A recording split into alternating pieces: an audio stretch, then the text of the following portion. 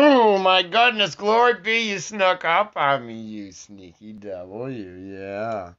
You shouldn't scare me while I'm shaving. Yeah, I might nick something. Hmm. Anyway, I had a wonderful time down at Old Bill Bailey's last night. What a great time, and I'll tell you what, I met some great people. I actually talked to some people this time. Yes, I didn't wear my turtle shell. No, I didn't. Yeah, baby. Let's check on my birdies and see if my lovely barn swallows are out here. Yes, they love me. Let's see. Let's see if they're up there. Okay, I don't see any landlord. Yep, they're up there. Can you see them? No, you can't. They're inside their nest. Are they looking? Yeah, there goes one. Yeah, those are my babies. I didn't give them names in case I got to eat them. yeah. Hey, Riley, you got to go potty? This is my Riley Pooh. Heather, if you're out there. This is Riley, my little tiny super guy. Hey, you got to get my doormat back there. It's not perfect. Yeah, it has to be perfect, aesthetically pleasing. Yeah, as dictated by society. Yeah. Hmm. There's my birdies. Yes, they love me because I gave their home back to them. Oh, we got some rain coming. See those clouds? That means rain's coming. Yes, within 24 hours typically. That's what that means. Those little cotton ball clouds. Know everything. Probably saying everybody else knows too. That way I could be a great spy for China.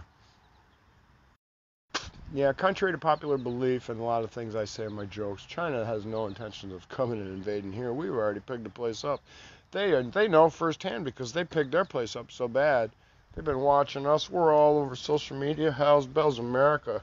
America is the king of masturbation. Everybody's really good at it. I know. I've seen video after video after video.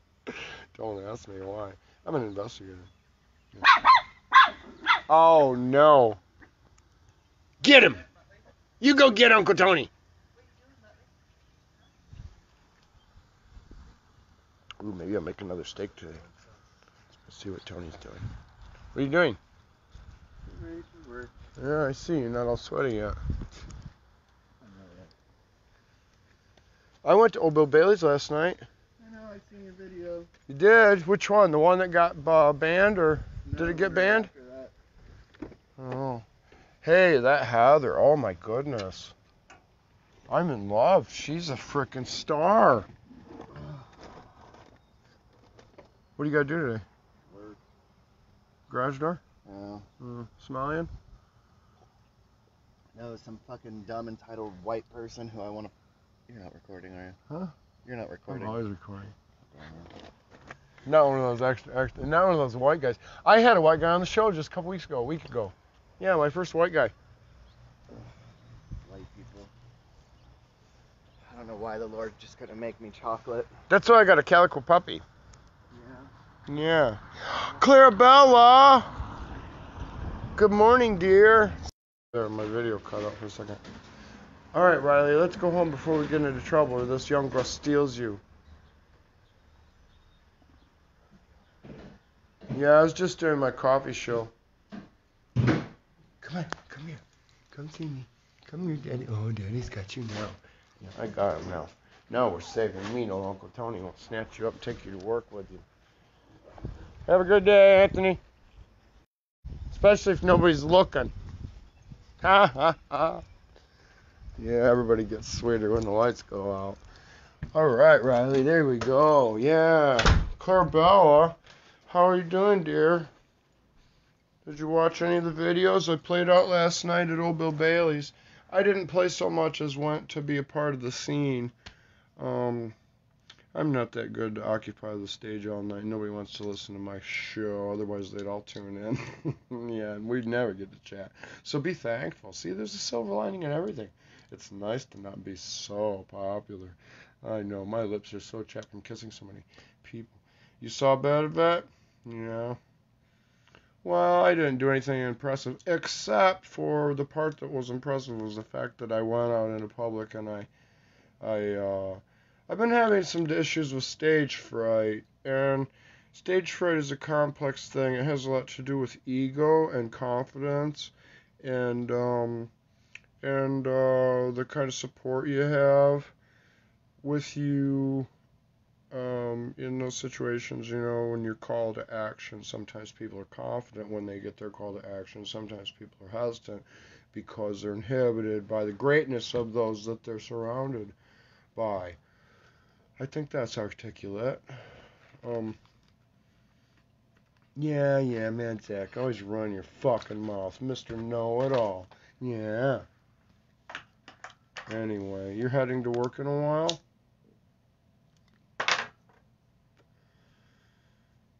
Remember, life is challenging. It's not difficult. No, no, you're right. You're right. It's not. There's nothing difficult about it. It's just a challenge. It's just a challenge. It's like uh, being a cliffhanger. yeah, being a rock climber. Yeah, you could fall to your death. Yeah, just don't do it.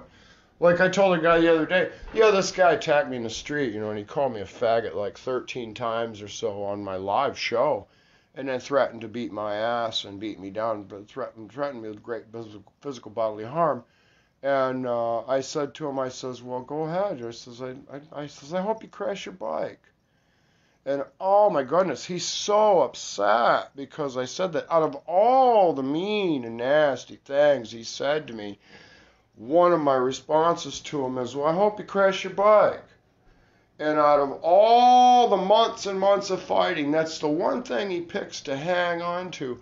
It's like I would have, you know, it's no different. I said, well, I hope you choke on a chicken bone. Well, it's real easy. Just don't. You know, I can hope anything I want. I can hope for a million dollars. I can hope your dog don't shit in my yard and I step in it when I go to get the mail. Christ sakes, grow up. You're supposed to be a grown ass man driving a 16 ton rig. Anyway, Zach, why don't you play the guitar instead of bitching all morning? Cause I'm all wound up. I'm all wound up. Ooh, yeah, ooh, I'm all wound up. Where's Chi? Chi? Chi. There he is. My cameraman. He's from China. Yeah, made by children. Can you tell? Yeah, so anyway, I was very, very impressed and pleased. Yesterday, a girl pissed me off at work. I almost was going to beat her up. I told her you picked up the wrong person to fuck up with. Well, yeah, you know, that's the thing. You got to put people in their place. You got to tell people. Everybody's on a ship. We're all member of the crew. If you know how to tie knots, tie knots. If you know how to fold towels, fold the fucking towels. You know, if you don't know how to do something, get behind somebody who does know how to do it and pay attention. It's real easy. Yeah, everybody finds their place, and that's where the love's developed. Yeah, from people doing their job, you know, like me, is working busting ass. Tell you what, you find out who's you find out who's who on a construction crew when you're building a house or pouring concrete. Let me tell you, you find out who the men are and who the boys are when you got a fucking when you got five trucks of concrete coming and it's all hot and colored, okay, with tint and and and everybody's got assholes and elbows and get that concrete moved. You find out who the men are, and that's where the brotherhood forms. At the end of that job, everybody knows who their brother is. And it's no different no matter what you're doing. You make dinner. You make dinner for people. They sit down. They eat. They clean their plate up. You don't leave it for the cook to clean up. Cook cooked it. You sat at their table. At least you know your your responsibility is pick up the fucking plate, clean it off, give the dog his share. Of course, rinse the goddamn plate off. Oh man, Zach, you're getting all bent out of shape. Why don't you just get Rhonda out and tickle her Tony's? Yeah, let's get her panties off and see what she's got to say. I want to see how hard her nipples are after playing last night. Yeah, I'll tell you what, that's so inspiring. Yeah, I've been having an issue with my confidence level. My ego is fragile, I guess. I'm fragile. I'm a fragile person. I'm sensitive. Yeah. Yeah. The boys call that fag, but I'm a I'm a sensitive person. I don't know why, but I am sensitive. But I'm an emotion. I'm very emotional, and uh, I'm an empath. Is the problem? I'm an empath, and I have a lot of psychic ability that I don't enjoy uh, a lot of times. Um, where's my goddamn guitar pick? Kid! Where is it? It's actually dropping. Oh, there's some. Ooh, there's some. Always guitar pick in a guitar case. Of course there is, Zach. Anyway, I'm playing around with a new composition. Those that tend to judge you haven't accepted their own mistakes. When you accept your own mistakes, you grow spiritually and emotionally. Well, yes. Oh, I want to share something with you that I wrote. What did I do with it? Something about if you don't love you, why should I? And that's the thing. You got to love yourself first before you can function healthy cognitively, psychologically, and emotionally spiritually. That's where your spirit all comes together. But you got to be willing to get in tune with that and find it. See, everybody's playing the wrong video game. You already have the game. That app everybody's searching for, that fantastical game, they've already got it. it's called soul searching. Yeah, it's a game you still up empty handed, but at the same time, you win everything. You do when you find your soul and your spirit. And I think I found mine. I do. I think I found mine. And it happened around the holidays.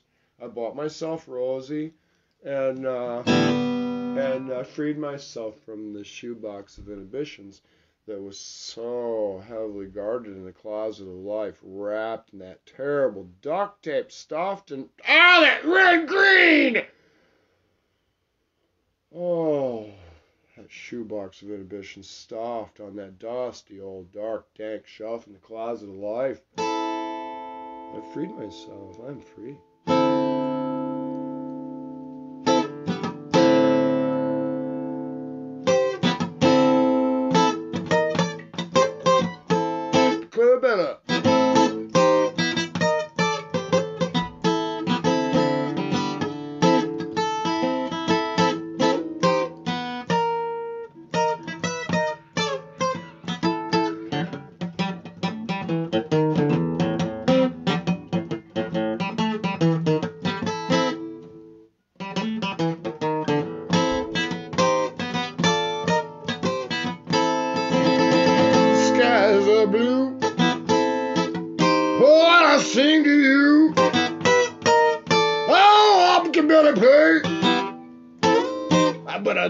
all day.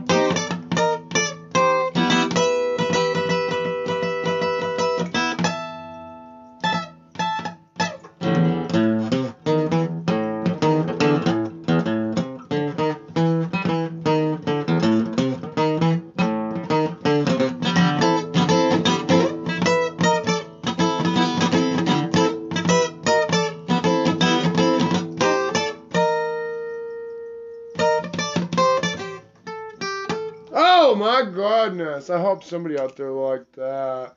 Heather, I hope you were watching, dear.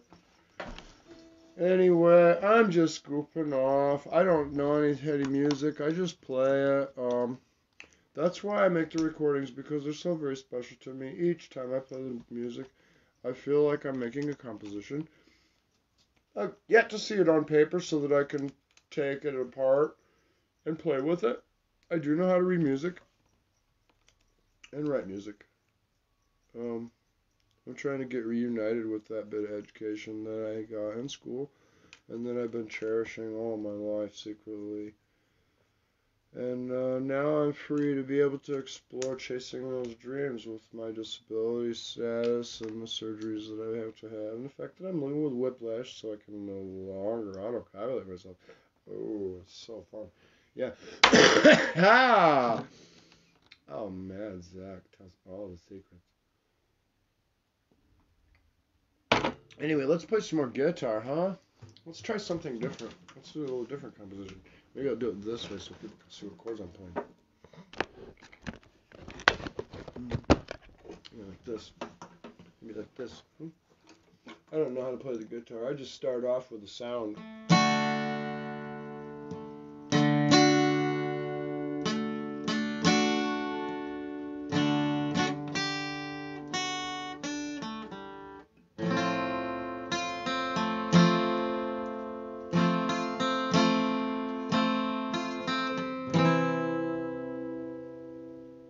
Ooh, I like that. see if I can do it